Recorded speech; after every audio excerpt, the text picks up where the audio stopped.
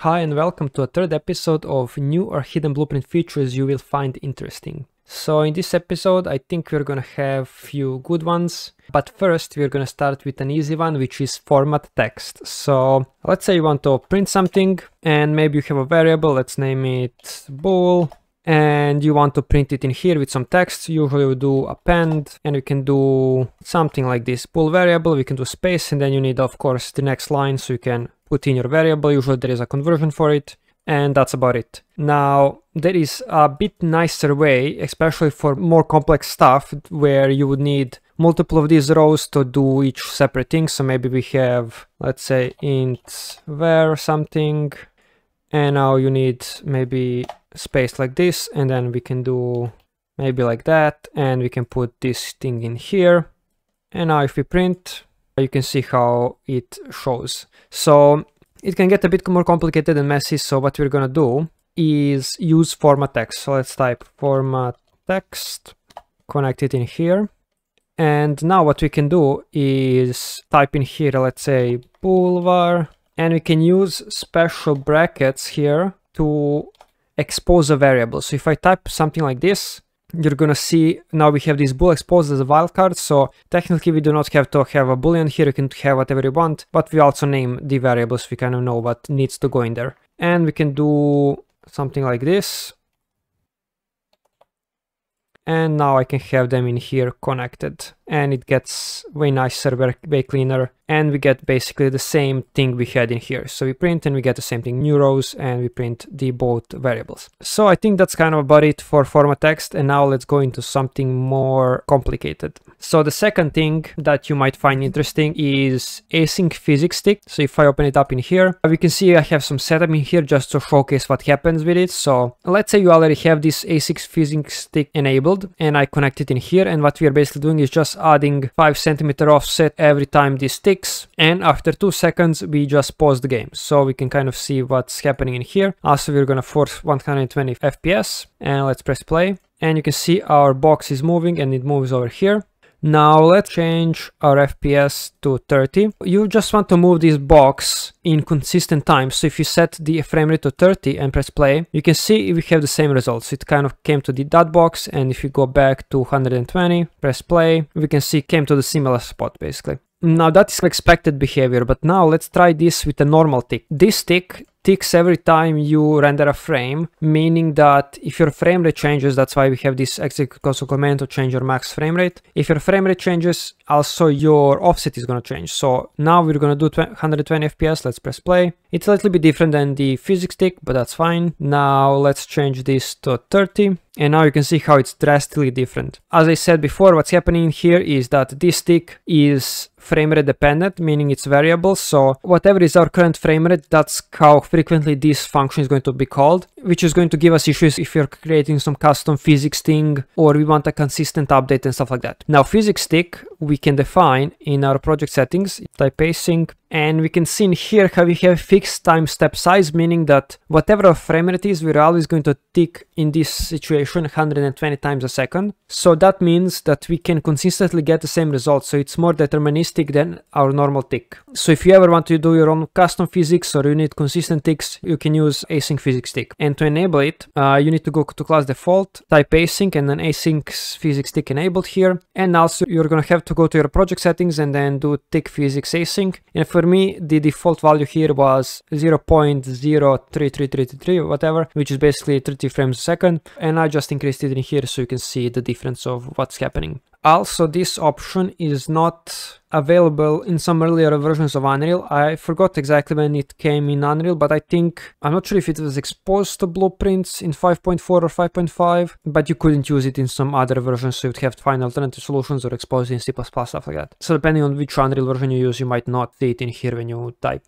async physics tick. Now, the third feature you might find interesting is tear off function. So in here I have a simple setup where when the game starts, we ask dedicated server to after two seconds tear off. Now what tear off means is to detach this actor from replication. So now the client and the server do not talk each other anymore when it comes to this specific actor. Now you can use it on anything. You don't have to use it on the character. And if you ever want to see network options in Blueprints, you can type network here and you have this networking tab and you can see a bunch of stuff in here. You can force net update, check a bunch of stuff like is that the server, which we're using here. And then we're also using this tail function. So to kind of showcase what's happening with this is I have this event tick and the server is just going to update the actor's offset and by default it's uh, replicated for the character. So when I press play, or actually I first need to set it to play as client, press play, we can see how it's updating and it's just going to go indefinitely because we are not turning it off right now. You can see at the bottom how we did not connect it. So we're just going to indefinitely move a little bit to the right. Now I'm going to enable the tear off function. Let's press play. Now you're going to see after two seconds we stop and now we are moving around, but keep in mind that this is client only basically because we are now separated from the server. So server and client are not talking anymore. Now let's go to another kind of simple one, but might be interesting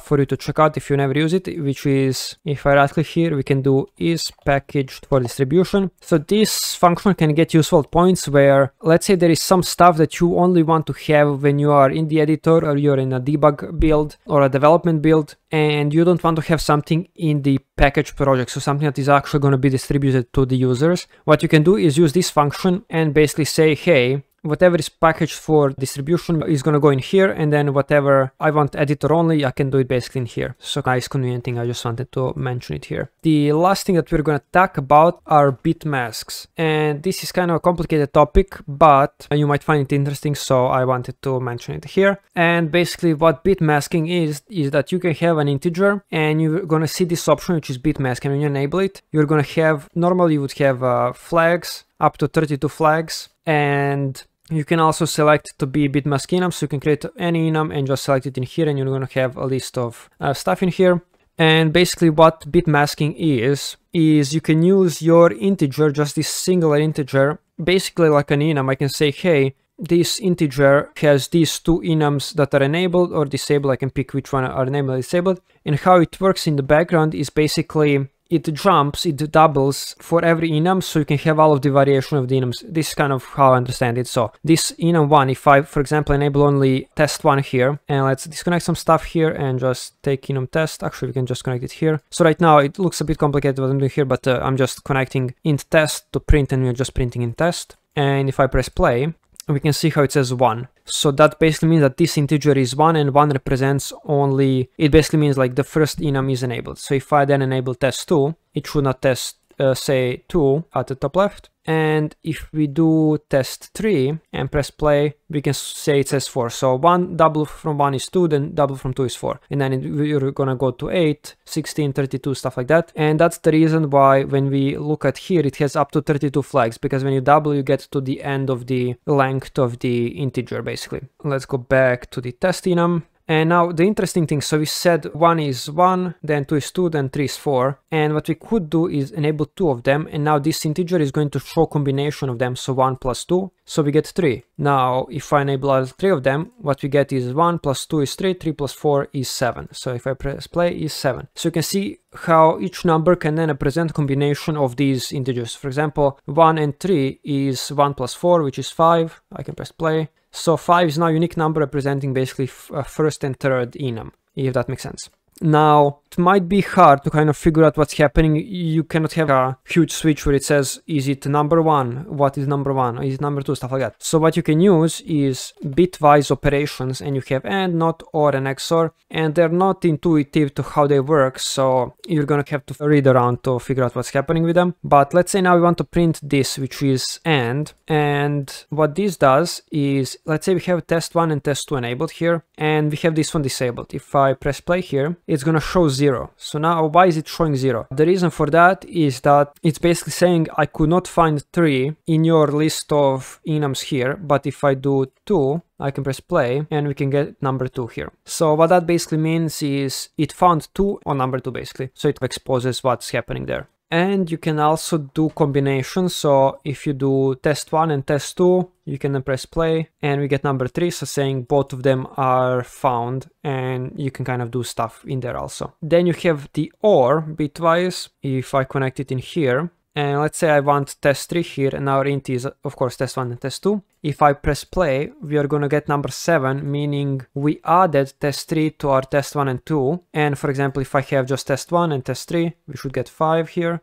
And what you can use this for is basically to combine them and set a new integer, for example, in here. So what you basically use this one for is to add a new thing in here, and this one more to read and see if the enum or groups of enums exist. So this is kind of what bit masking. Basically, you're figuring out what individual bit means and what you want to set to toggle individual bits, stuff like that. So if you do this now, we are kind of adding test3 to our list. So maybe our character, you can imagine maybe this is our character stats. Maybe this is, I don't know, bleeding, poisoned, burning. And now what you're basically saying is if you're bleeding, now we want to add burning to your status effects or something like that. It is kind of a nice way to have a really compact, memory compact way to hold enums instead of having a bunch of different lists and stuff like that. And if you ever want to read more about it, there is this bitmask blueprint variables on Epic Games documentation and you can see kind of general setup and some basic stuff to get to understand how bitmasks work, which I use to figure it out and see a nice way to use them. Now, for Unreal generally, you probably don't have to worry about for memory to this extent and also I'm not sure about the performance, but that's generally it about bitmasks. We went through formatting text, async physics tick, Tera function, bitmask, and package for distribution. Hopefully you found this uh, interesting and if you have any interesting features in blueprints that you think would be nice to mention in the future, I'll leave them in the comments and I might add them in the future episodes. But yeah, that's about it.